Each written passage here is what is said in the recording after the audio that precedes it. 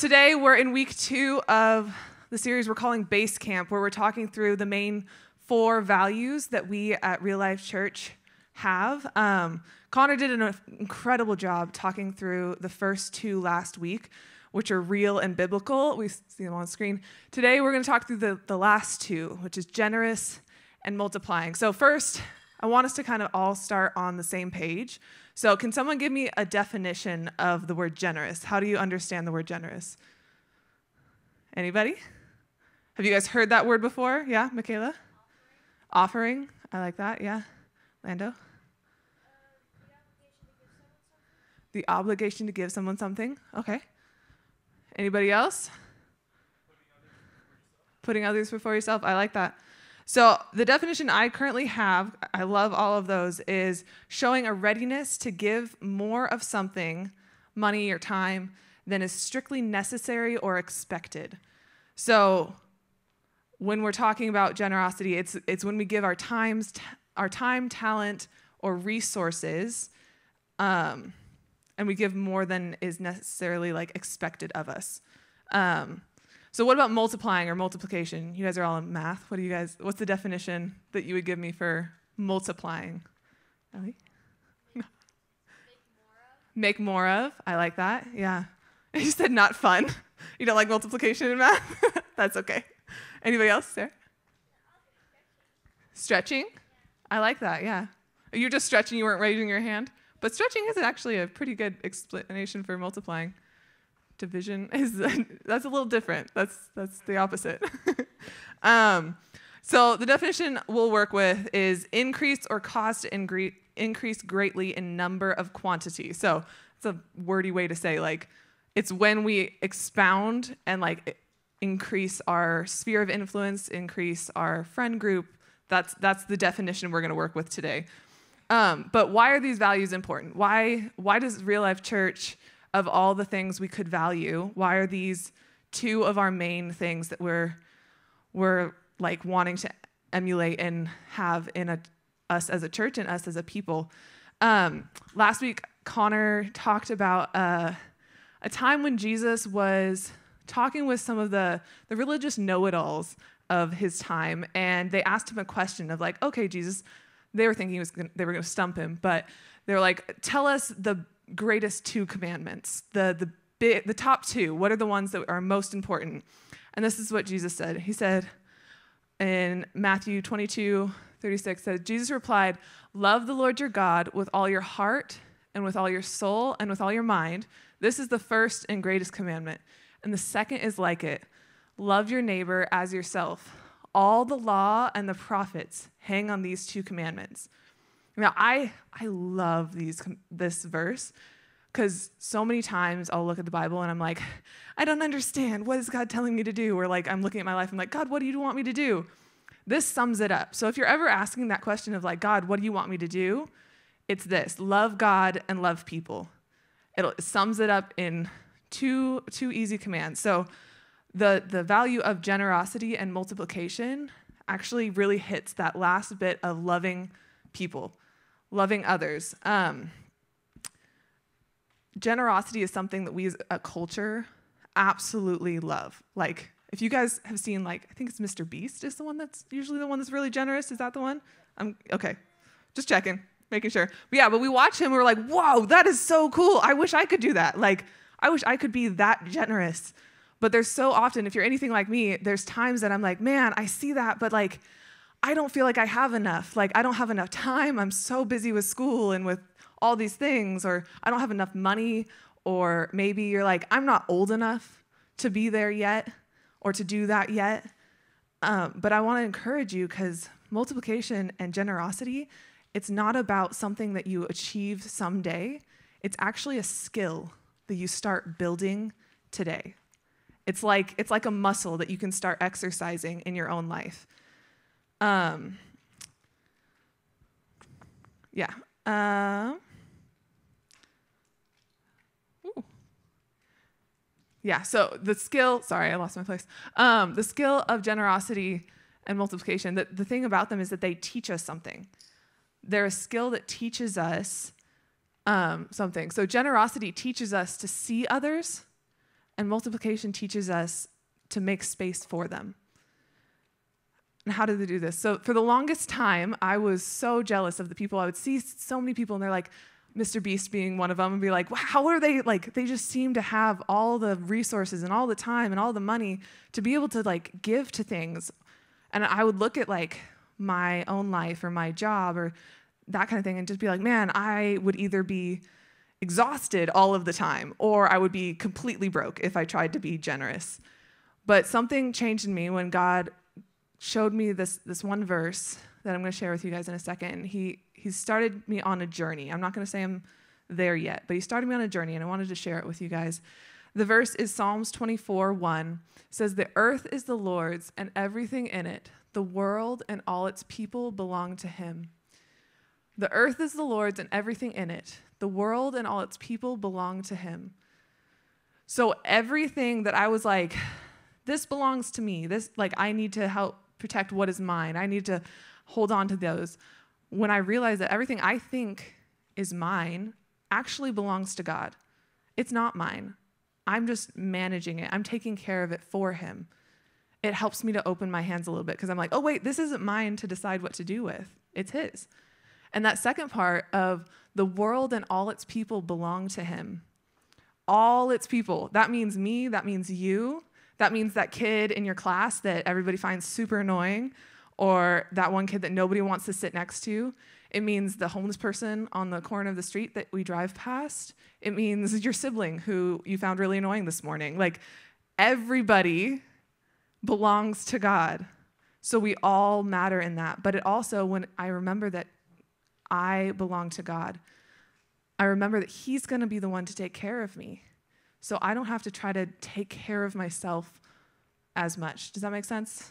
Tracking? Um, yeah, so I encourage you don't wait till the someday, till the opportunity. You're like, okay, I'll be generous when the opportunity presents itself to me. Like if I happen across it, then I'll be generous. That's how I used to do things. And I was not generous very often, I will be honest. Um, I encourage you guys to build it into your schedule, build it into your life. So if you look at like your month, you're like, okay, this month I'm gonna set aside two hours or more, whatever it is, two hours that I'm gonna be generous with my time. I'll spend it with people, I'll volunteer, I'll do whatever. Or if it's even like $5, like be like, this month I'm going to spend save. I'm going to put five dollars aside to give to someone else that's in need. And then you have that stored, and then you're like actively looking for those opportunities. It becomes like a treasure hunt. Like you start being like, okay, I got I got to give this away. So now where can I put it? Where like, and it, that's how you start building that skill. It's like if you were if you wanted to start a hobby let's let's use like jujitsu for example um, if you wanted to start jujitsu and you're like i want to get really good at this you're like okay i am just to wait until i happen upon a like jujitsu training place and whenever i happen upon it then sure i'll take a class you're like okay you might learn a few skills you might happen upon one every once in a while but you probably won't see the growth and the the learning that you want to but if you're like, okay, I'm to set aside an hour a week to practice jujitsu, you're to get way better over time. Does that make sense? Yeah? Um, uh, yeah, our jo- generosity also will naturally, once we, we start working on generosity, it will naturally lead into multiplication. We, it can't help itself. Once we start seeing people it starts getting in us and we naturally will start making space for them. Uh, right before Jesus went up to heaven again, he gathered all of his like closest buddies, his disciples, which the word disciple just basically means follower of Jesus. Um, and he says this to them. He says, Therefore, go and make disciples of all nations, baptizing them in the name of the Father and of the Son and of the Holy Spirit, and teaching them to obey everything I have commanded you and surely I am with you always to the very end of the age. So, we're doing baptisms today. It's which is awesome. I'm so excited. I was saw all the names and I was like, "Yes, come on." But this is why we do it. Jesus is like, "Go and tell people about me. Go and help people to know who I am. Help people to see and know the love that I have for them. And so, how do we do it? Because I know this is something that has intimidated me for the longest time of like, how do I, how do I help people see Jesus' love for them? My brother-in-law um, just recently went on vacation with a friend of his, um, and well, like they know each other from the gym. They became friends. They went on this. I, I keep calling it a brocation because it's just the two of them. They're just hanging out and having fun.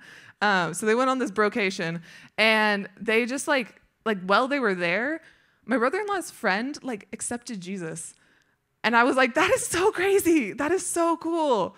So then like, how does he do that? How does my brother-in-law do it? His name's my brother-in-law's name is Lewis. So like, how does Lewis? How did he like share with his friend? And as I was talking to my sister about it, it was like he just knows the value of making space for people in his life. He wasn't he didn't go on this vacation being like I'm going to shove Jesus down his throat and he's going to come back knowing Jesus. Like that wasn't his that's never in his intention. It's he just was genuinely his friend. As they were working out because that's what they like to do and as they were like eating good food and hanging out and talking, they talked about life and relationships and probably goofy things too. Like it's just all the things that you talk to your friends about is what they were doing. And during that time, my, Lewis shared what God was doing in his life. He was like, "Yeah, this is what I'm learning. This is how I'm growing," and and that's his friend saw it and wanted that as well. Like he got to know Jesus just because Lewis shared his life with him. He made space for a friend and that friend got to know Jesus, and it's incredible. And that's something you guys can do too. That's an easy way to just love the people around you. So that in your school, in your practices, there are people that are lonely. There are people that are wishing that someone would come to them and care for them. Community is something that is a, a fundamental human need we all have this deep, deep, deep longing inside of us to be known, loved, cared about, like good or bad, that we know that people will have our back. And so, you, what if you could be that person for someone else? What if you could be that person that's just the consistent, good or bad, you're here for them? Imagine how much difference that could make. Um, that's what our goal of 30 churches by the year 2030 is all about. We want to make space for people to get to know Jesus, to get to know him better. And I will say the temptation often that I find in myself and I've seen is that one, we, we all have this longing to be known and loved, but we also we want our people. We often want like, okay, I just want like my person.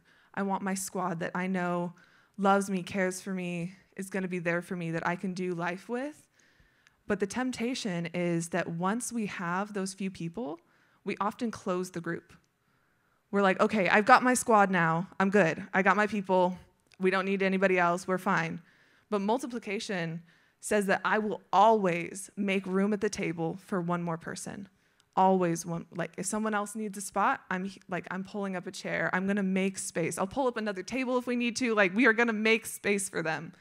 Multiplication tells us that there is we are always going to make room in the kingdom of god for one more person. We're always going to make the time for one more person to get to know jesus the church historically i'm not going to just say real life church but like the church as a whole has not had the best track record with this.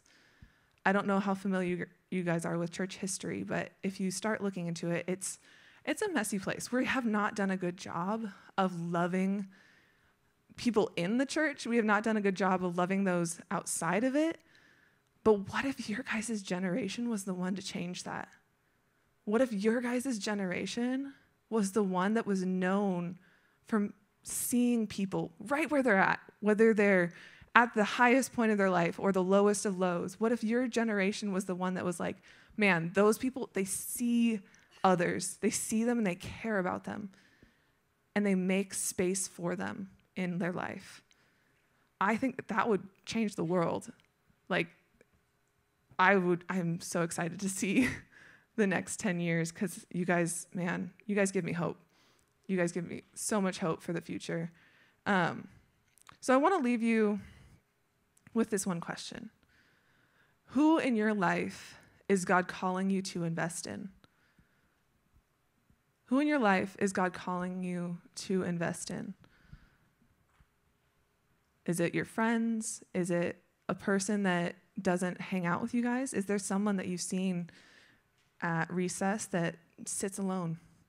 There's someone you've seen outside when we come in that sits alone. Who in your life has, is God calling you to invest in? Let me pray for you guys. Hey, Jesus, thank you so much for your love for us, Lord. Thank you that you are our healer and our um, protector. God, I thank you that we get to do life with you, that you don't leave us alone to do it by ourselves. Um, Jesus, I just ask that you show up in each one of these students' lives this week, um, this month. Uh, thank you, God, that we get to celebrate more people getting to know you today at beach baptisms. I just ask that you give each one of the students courage and bravery to step out in a new way this week and be generous or multiply. In Jesus' name, amen.